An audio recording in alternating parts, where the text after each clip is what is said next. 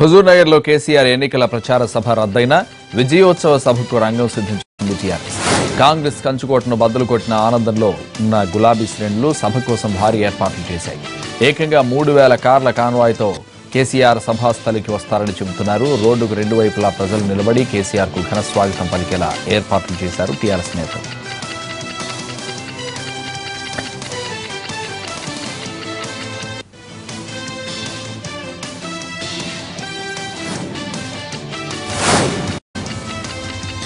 Telangana RTC కార్మికుల సమ్మె ఇరవై రెండవ రోజుకు చేరింది. ఆర్టీసీని ప్రభుత్వంలో విలీనం చేయాలనే ప్రధాన డిమాండ్తో సహా మొత్తం ఇరవై ఆరు అంశాల్ని పరిష్కరించాలని కోరుతున్నారు కార్మికులు. అక్టోబర్ ఐదున ప్రారంభమైన సమ్మెను విరమింపజేసే దిశగా ఇంతవరకు ఎలాంటి ప్రయత్నం జరగలేదు. కార్మికులు సమ్మెకు వెళ్ళకముందు ముగ్గురు సీనియర్ ఐఏఎస్ అధికారులతో చర్చలు జరిపిన ప్రభుత్వం సమ్మె ప్రారంభమైన తర్వాత ఇక కార్మికులతో చర్చలే లేవని తేల్చి చెప్పింది. ప్రభుత్వ విజ్ఞప్తిని కాదని సమ్మెకు వెళ్ళిన కార్మికులు సెల్ఫ్ డిస్మిస్ అయినట్లేనని ప్రకటించింది. అప్పటి నుంచే ప్రయాణికులకు ఇబ్బందులు కలగకుండా ఉండేందుకు ప్రైవేట్ డ్రైవర్లు కండక్టర్లు అద్దె బస్సులు తీసుకొచ్చి నడిపిస్తున్నారు. మరిన్ని అద్దె బస్సుల కోసం నోటిఫికేషన్ కూడా ఇచ్చింది ఆర్టీసీ యాజమాన్యం. సమ్మె వల్ల అరకొరగా తిరుగుతున్న బస్సులు ఎటూ చాలక ఇబ్బంది పడుతున్నారు జనం.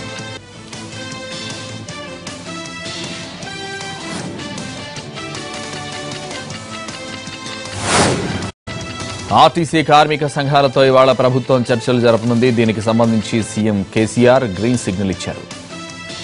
ప్రగతి భవన్లో ఆర్టీసీపై మంత్రి Puvvada Ajay RTC in-charge MD Sunil శర్మతో సుదీర్ఘంగా చర్చలు జరిపారు సీఎం కేసీఆర్. ఆర్టీసీ కార్మికుల డిమాండ్లపై ఎగ్జిక్యూటివ్ డైరెక్టర్ల కమిటీ తయారు చేసిన నివేదికను పరిశీలించారు కేసీఆర్. చర్చలకు సీఎం అనుమతించడంతో ఈ ఉదయం పదకొండు గంటలకు కార్మిక సంఘాల జేఏసీతో సమావేశం జరిగే అవకాశం ఉంది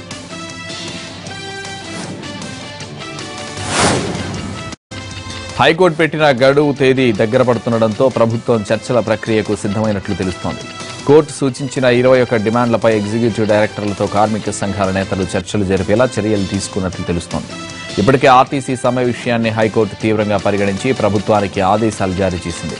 ఆర్టీసీపై వచ్చిన పిటిషన్లను అన్నింటినీ ఈ నెల ఇరవై ఎనిమిదినే చూడాలని నిర్ణయించింది.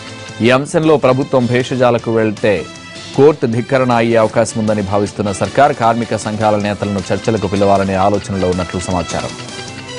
ఇటు కార్మిక సంఘాలు కూడా తమను చర్చలకు పిలవాలని తమ డిమాండ్ల సాధనకు ప్రభుత్వం మెట్టు దిగి రావాలని కోరుతున్నారు.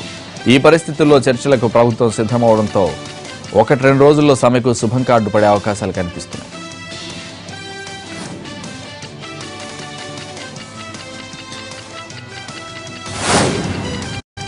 ఇవాళ హర్యానా బీజేపీ శాసనసభాపక్ష సమావేశం కానుంది.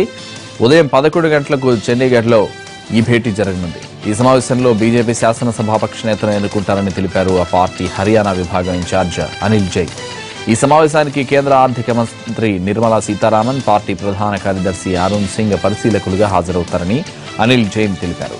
బీజేపీ శాసనసభాపక్ష నేత ఎన్నిక తర్వాత ప్రభుత్వ ఏర్పాటుకు అవకాశం ఇవ్వాలని హర్యానా గవర్నర్ను కలిసి కోరనున్నారు బీజేపీ నేతలు. నిన్న ఢిల్లీలో బీజేపీ జాతీయ అధ్యక్షుడు అమిత్ షా కార్యనిర్వాహక అధ్యక్షుడు జేపీ నడ్డాలను కలిశారు మనోహర్ లాల్ ఖట్టర్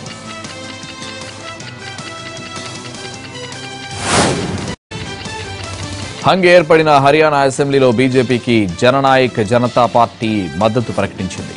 అసెంబ్లీలో మొత్తం తొంభై స్థానాలుండగా బీజేపీ నలభై సీట్లు గెలుచుకుంది. ప్రభుత్వ ఏర్పాటుకు మరో ఆరుగురు ఎమ్మెల్యేలు అవసరం. ఇప్పటికే బీజేపీ మద్దతు ఇస్తామని లోక్ హిత్ పార్టీ నేత గోపాల్ కందాతో పాటు పలువురు స్వతంత్ర అభ్యర్థులు ప్రకటించారు. అయితే కందా మద్దతు తీసుకోవద్దని బీజేపీకి సూచిస్తున్న ఈ శివసేన లాంటి మిత్రపక్షాలు ఇటువంటి పరిస్థితుల్లో జేజేపీ మద్దతు ప్రకటించింది. ఈ క్రమంలో బీజేపీ నేత అనురాగ్ ఠాకూర్తో జేజేపీ నేత దుష్యంత్ చౌతాలా కూడా భేటీ అయ్యారు. ఆపై బీజేపీ చీఫ్ అమిత్ షాతోనూ భేటీ అయ్యారు. ఈ సందర్భంగా బీజేపీ జేజేపీ మధ్య కేబినెట్ బెర్తులపై అవగాహన కుదిరింది. దుష్యంత్కు డిప్యూటీ సీఎం పదవి ఇచ్చేందుకు బీజేపీ అంగీకరించింది. అలాగే జేజేపీ నుంచి మరొకరిని కేబినెట్లోకి తీసుకుంటున్నారు. హర్యానాలో బీజేపీ అధికారంలోకి రాకుండా అడ్డుకునే ప్రయత్నం చేసింది కాంగ్రెస్. దీనిలో భాగంగా దుష్యంత్కు సీఎం పదవిని ఇస్తామని ఆఫర్ ఇచ్చింది. కానీ మారిన పరిణామాలతో కంగుతింది హస్తం పార్టీ.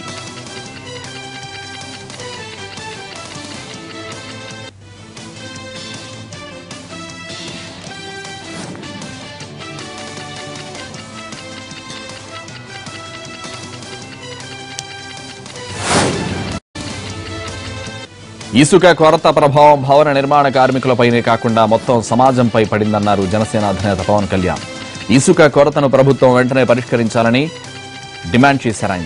ఏపీ నలుమూలల నుంచి తరలివచ్చిన ఇసుక లారీల యజమానులు డ్రైవర్లు మంగళగిరిలోని జనసేన కార్యాలయంలో పవన్తో భేటీ అయ్యారు. తమ కష్టాలను పవన్కు వివరించారు లారీల యజమానులు.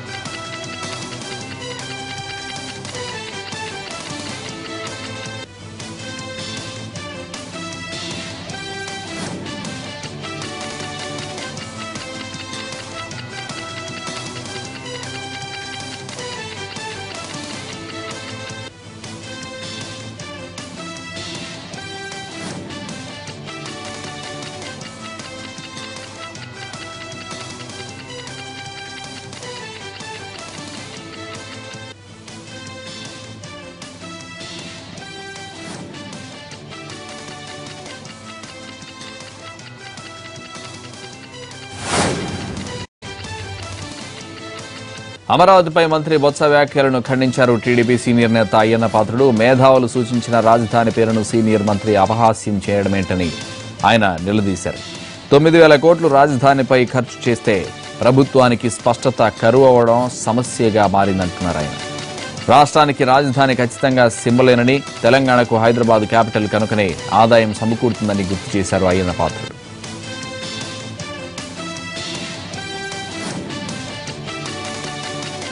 చాలామంది మేధావులతో అందరితో మాట్లాడిన తర్వాత కవులతోటి అందరితో మాట్లాడిన తర్వాత ఇది ఒక మంచి పేరు.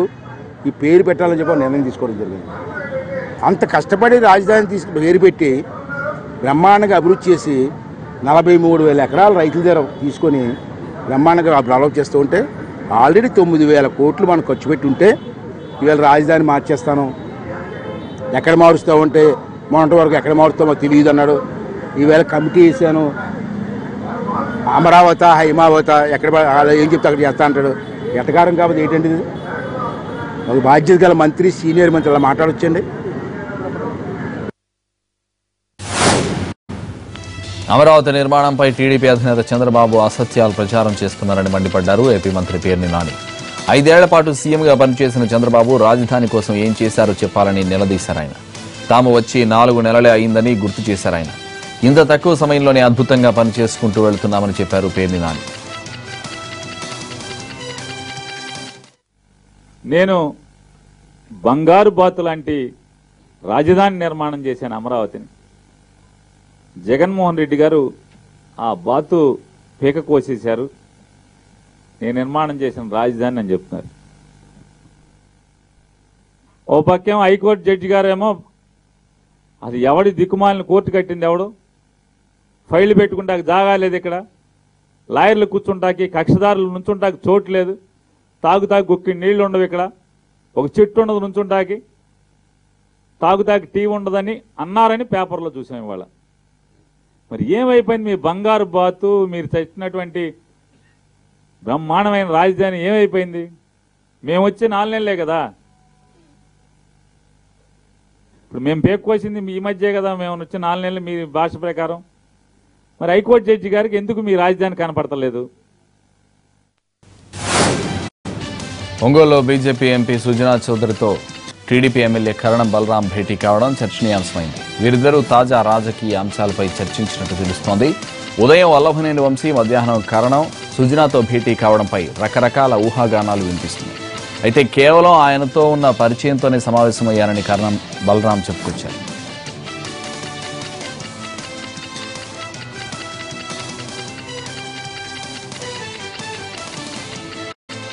వాళ్ళు ఏదో పార్టీ కార్యక్రమానికి ఒంగోలు రావడం జరిగింది. ఈ సందర్భంగా వాళ్ళ బ్రదర్స్ అన్ని కూడా మా మా- మామగారు మనరాలను ఇచ్చాం. భద్రత కూడా ఉంది. అందుకు పాటు మా కజిన్ ఇక్కడే ఉమామహేశ్వరరావు ఉన్నాడు గోపాల సంగారు అల్లుడు. వాళ్ళు లంచ్ ప్రోగ్రామ్ అది చేస్తే ఇన్వైట్ చేస్తే లంచ్కి వచ్చాము అది అంటే ప్రత్యేకమైన ప్రాధాన్యత ఏం లేదు. అంటే మా దగ్గర అసలు డిస్కషన్స్ లేవు. రాలేదు. రాని గురించి కొంతమంది కింద లెవెల్లో ఎక్కడో జరుగుతూ ఉన్నాయి కానీ అది దాకా డిస్కషన్స్ రాలేదు. పైగా నాకున్న అలవాటు ఏంటంటే ఎవడు పార్టీ రైతే కానీ నేను అందరిని కలుస్తుంటాను. నా నేచర్ ఏంటంటే హ్యూమన్ రిలేషన్స్ నేను ఎప్పుడు కూడా పోగొట్టుకోను రెండోది ఏంటంటే నేను ఢిల్లీ వెళ్ళానంటే కంపల్సరీ వెంకయ్యనాయుడు. వెంకయ్యనాయుడు మొదటి నుంచి దాన్ని వీళ్ళందరికంటే ముందు నుంచి ఎప్పటి నుంచో ఉన్నాను మేము అందరం అప్పుడు ఏ విధంగా మేము పరిచయాలు అయినప్పుడు నైన్టీన్ సెవెంటీ ఫైవ్ నుంచి ఇప్పటికీ అదే ఆత్మీయత అదే విధంగా అందరి పాత కాలంలో ఉన్నటువంటి సన్నిహిత మిత్రులందరినీ పిలిస్తే నన్ను కూడా పిలిచాడు అక్కడికి. ఫంక్షన్ కూడా ఢిల్లీలో కూడా అటెండ్ అయ్యి వచ్చాం. కలిసేది నేను ఇది దీనికి వచ్చిన ఇది అతను ఏం కా- ఎవరిని కలిశాడనే నాకు ఇంతవరకు తెలియదు. మీ మీ వాళ్ళకి తెలియాలి. అక్కడ టీవీల వాళ్ళకి వీళ్ళకి. ఇక్కడ నేను వచ్చేటప్పటికి నేను జస్ట్ అప్పుడే వచ్చా నేను. ఏం లేదు. ఇది లంచే. Only lunch. లంచ్లో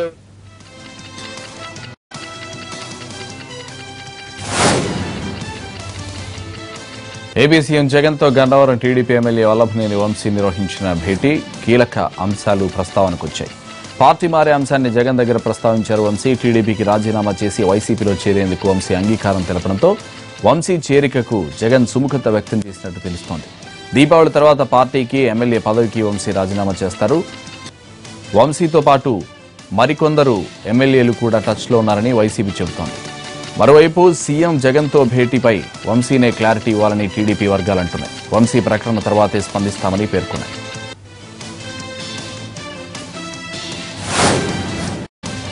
ఏపీలో రెండో దశ కంటి వెలుగు కార్యక్రమాన్ని నవంబర్ ఒకటి నుంచి నిర్వహించనున్నారు. అంధత్వ నివారణ కోసం ప్రారంభించిన వైఎస్ఆర్ కంటి వెలుగు పథకం సత్ఫలిన సత్ఫలితాలిస్తోంది ప్రభుత్వ ప్రధాన కార్యదర్శి ఎల్వి సుబ్రహ్మణ్యం సచివాలయంలో వైద్య ఆరోగ్య శాఖ అధికారులతో ఆయన సమీక్ష నిర్వహించారు. మొదటి దశలో అరవై వేల ఆరు వందల తొంభై మూడు ప్రభుత్వ ప్రైవేట్ పాఠశాలల్లోని డెబ్బై లక్షల మంది విద్యార్థులకు ప్రాథమిక పరీక్షలు నిర్వహించినట్లు సిఎస్కు తెలిపారు వైద్య శాఖ అధికారులు ఈ పథకం ద్వారా ఐదు కోట్ల ముప్పై లక్షల మందికి కంటి వెలుగు పరీక్షలతో అవసరమైన వాళ్ళకు శస్త్రచికిత్సలు చేయడం కళ్ళజోళ్ళు అందించాలన్నది ప్రభుత్వ లక్ష్యం.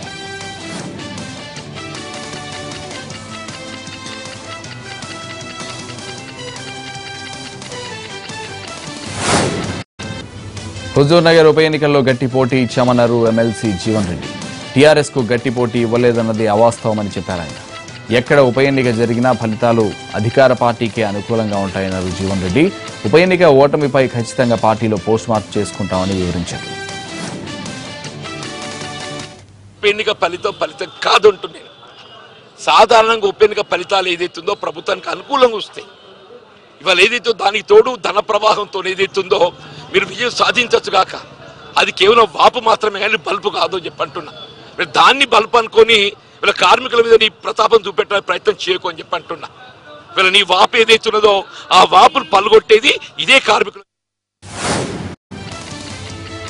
ఏపీలో ఇసుక కొరతపై అధికార పార్టీకి చెందిన ఎమ్మెల్యే సంచలన కామెంట్స్ చేశారు. ఇసుక అక్రమ తరలింపు నిరంతరాయంగా సాగుతోందన్నారు నెల్లూరు వైసీపీ ఎమ్మెల్యే కోటంరెడ్డి శ్రీధర్ రెడ్డి. ఇసుకాసురులపై అధికారులు కఠిన చర్యలు తీసుకోవాలని డిమాండ్ చేశారు. ప్రజాప్రతినిధుల పేర్లతో అక్రమంగా ఇసుక తరలిస్తే ఏ స్థాయి వారైనా వెంటనే చర్యలు తీసుకోవాలని హెచ్చరించారు. ఒట్టేపాళెం ఇసుక రీచ్ నుంచి సామాన్యులకు మాత్రమే అనుమతులు ఉన్నాయని తెలిపారు. ఆన్లైన్ ద్వారా ఇసుక మాఫియా పనిచేస్తోందని వెబ్సైట్ ఓపెన్ అయిన రెండు నిమిషాలకే నో స్టాక్ బోర్డు దర్శనమిస్తోందని విమర్శించారు.